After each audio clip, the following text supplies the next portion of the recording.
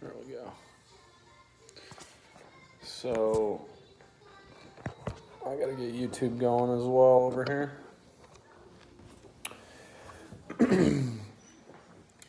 Trying something new tonight. Uh, going Facebook Live and YouTube Live. Um, I just I'm missing Instagram tonight, but that's okay. I wanted to talk about um, a couple of really simple things for uh, buyers out there who are um, looking to purchase and uh, are utilizing lending. So they're not cash buyers. Uh, majority of the people out there who are buying homes today are, are probably going to have some sort of financing in place. Lots of things that um, you know buyers can overlook to cause uh, deals to fall through or to cause their life to be uh, much more stressful than it needs to be. So a couple of points I want to, to just touch on this evening are around um, ratios. So your debt to income ratio, which you may or may not know what it is.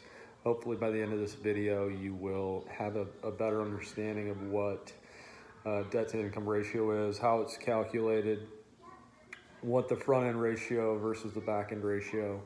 Uh, hopefully, if you have a really good lender, uh, they're going to go through this and make this very clear with you, uh, hopefully up front, um, so that you're comfortable with uh, you know the price point that you're going to be looking at. My clients, uh, when we're looking at uh, you know my buyer clients, I want them to go through and have this analysis done on the front end, just to alleviate any unnecessary um, you know stressors that they may run into um, throughout the buying process. For example, um, somebody who doesn't uh, have a good understanding of what their uh, front end or their back end ratio or their overall debt to income ratio is may go under contract for a home that they um, you know can't afford, and uh, and they fall in love with that home and uh, realize you know after they've gone under contract that it's uh, you know they can't afford it. So that's something that really would put unnecessary stress in in someone's life. Versus if they had a very clear understanding of what their uh, buying power was on the front end before they go out and they look at houses. Now they know exactly what their price point is, exactly what their budget is, and they're not um, you know over leveraging what their buying power is. So that's the debt to income ratio. The second thing I want to just touch on briefly are contingencies. I've talked about this in the past before, uh, but in my opinion, this is something that is hugely overlooked in the real estate industry. Uh, I've run into a couple of situations where um, you know my clients have been unclear with contingencies because uh, throughout the, the contractual uh, real estate process, you've got due diligence, you've got the financing contingency, you've got the appraisal contingency, and maybe during due diligence, there is an amendment to address concerns. excuse me. Maybe during due diligence, you have an amendment to address the original contract. And the contingencies uh, on after due diligence may or may not be affected by that amendment.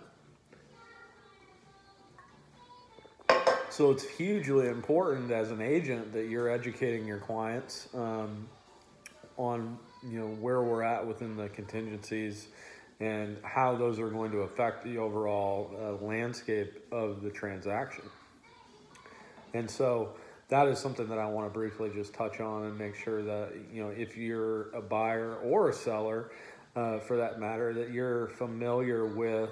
Uh, if your agent isn't making you aware of it, or maybe you're doing a deal, uh, you know, without an agent involved, you may still have contingencies in the contract. So those are something that you definitely don't want to overlook and lose track of uh, throughout the life cycle of that you know transaction. For example, I just had a situation a couple of weeks ago where there was a house my uh, clients wanted to purchase, and um, they were there was multiple offers. there was multiple offers on this particular uh, property. I reached out to the uh, seller, the, the listing agent, and uh, found out that there was an you know an offer that was already accepted. So um, what my clients wanted to put in a backup offer because the the primary offer had uh, some due diligence period there was lending involved. There was also what's called a, uh, primary residence contingency, which basically means that that contract was contingent upon them selling their, their other home. And so, whenever there's a primary uh, residence contingency involved, um, you know the lenders really kind of are in the driver's seat there. So if you have a if you were in my position, you're you're the backup contract. You definitely are putting in a backup offer in that situation because there is so many things that could go on uh, to cause that primary deal to fall through. Long story short, they didn't end up. Uh, they ended up releasing the contingencies, so the primary offer closed deal two days ago. But it doesn't always happen that way. So uh, if you have multiple offer situations, uh, always important to go ahead and you know spend the time and, and fill out that backup offer and, and go ahead and submit it so that if something does happen, um, there's a, a million scenarios that a, a, primary residence contingency deal could fall through. So um, you you don't ever want to overlook those. But circling back to the, the debt to income ratio front end, you know, back end, and the overall ratio.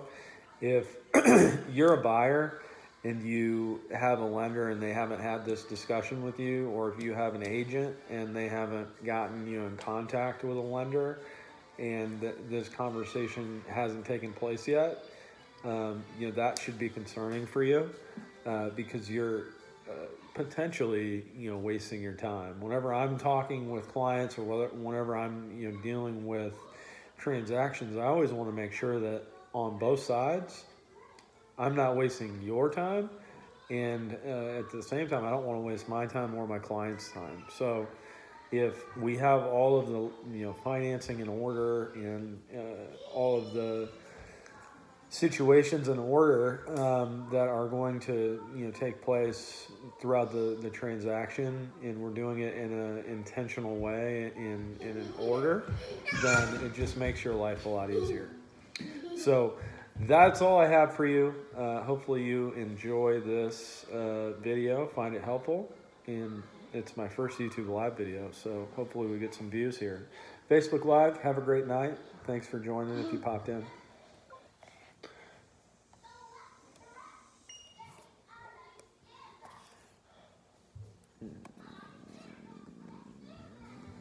I don't even know how to turn off. YouTube Live.